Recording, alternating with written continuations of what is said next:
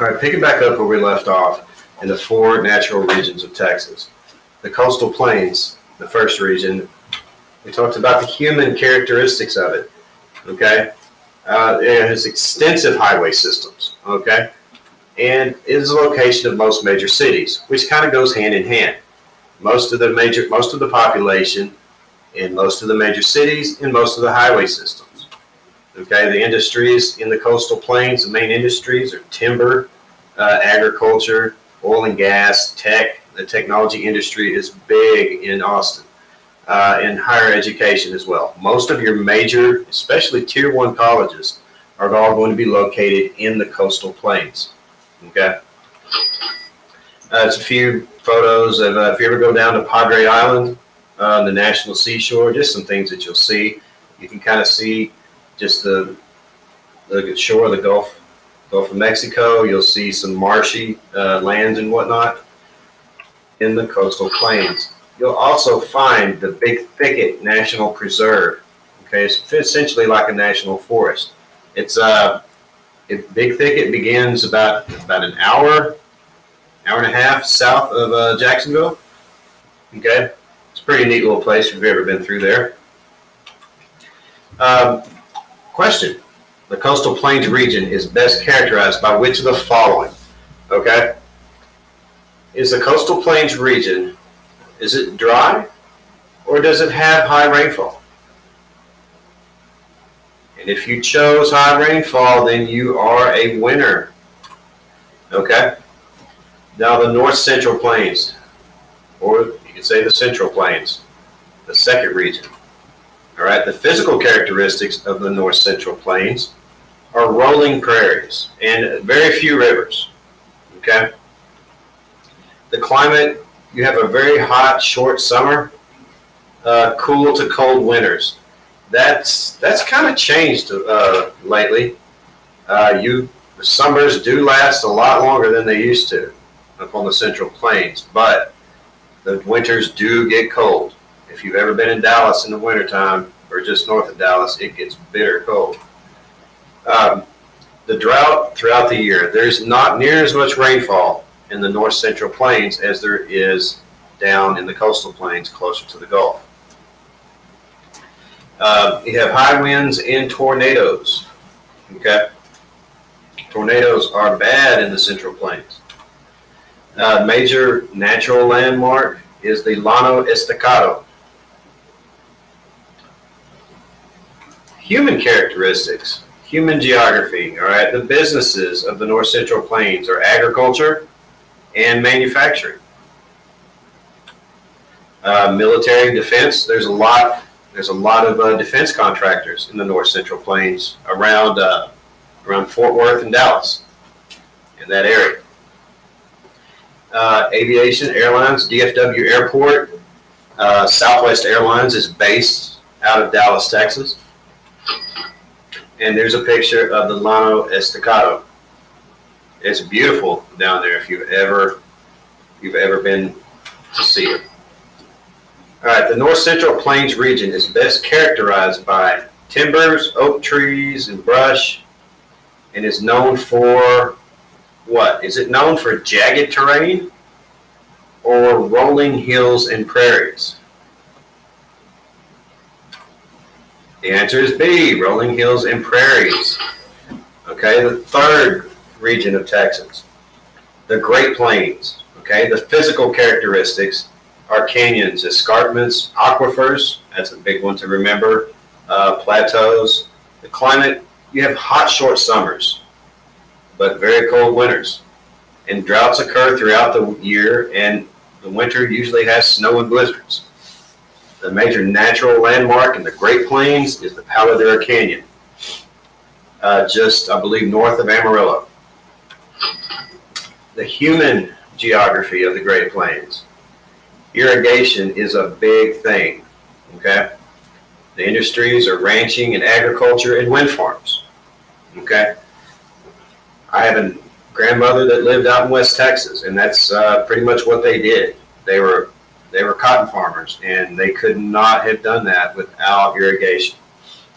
there are large uh, windmills and wind farms generating electricity in West Texas, taking advantage of the open space and the high winds. And also solar farms are popping up out there as well. And here's a photo of the Palo Duro Canyon.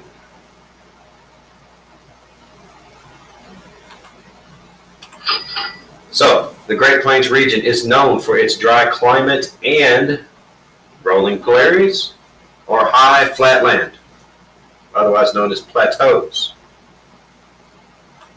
The answer was plateaus, high flat land. The fourth region, mountains and basins. The physical characteristics, all right, hot days, cold nights, hot short summers, and cold winters because essentially you're getting close to pretty much being in the desert.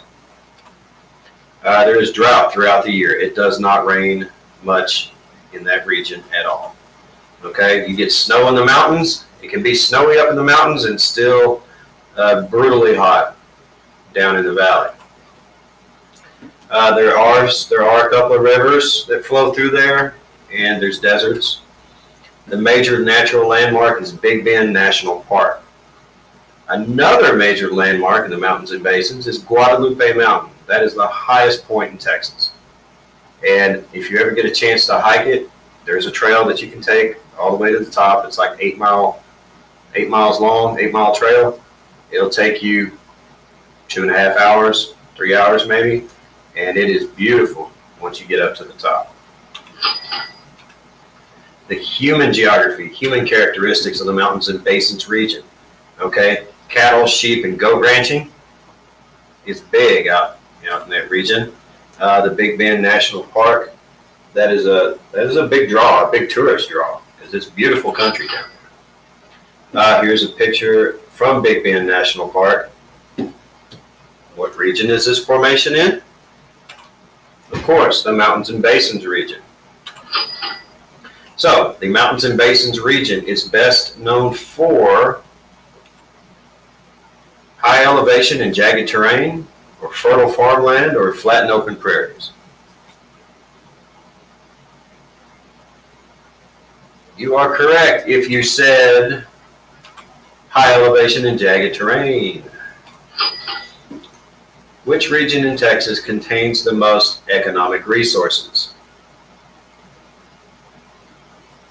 Is it the Great Plains or the Coastal Plains? The answer is coastal plains. Which region in Texas stretches furthest to the north? Is it the Great Plains or the North Central Plains? Answer is the Great Plains. Which statement best describes a major difference between the North Central Plains and the Mountains and Basins region? What is a major difference between the North Central Plains and the Mountains and Basins region? Is it that rainfall is more abundant in the mountains and basins? Does it rain more in El Paso than it does uh, in Fort Worth, Texas? Is a desert climate found in the mountains and basins region? The answer is B. Which region in Texas contains the most urban areas? Urban areas Urban means cities, correct? So which region contains the most cities? Great Plains, Coastal Plains, Central Plains, or Mountains and Basins? The answer is the Coastal Plains. All right, uh, we'll just have, I'm gonna have a little graphic come up here, uh, Texas cities. It kind of shows you an idea of just how Texas has grown. Uh, there's just a list of, of the uh, major cities in Texas in the 19th century or the 1800s. Okay? Most of the population lived in one of these particular towns San Antonio, El Paso, Goliad, Austin, Galveston, Houston, Brownsville, Victoria.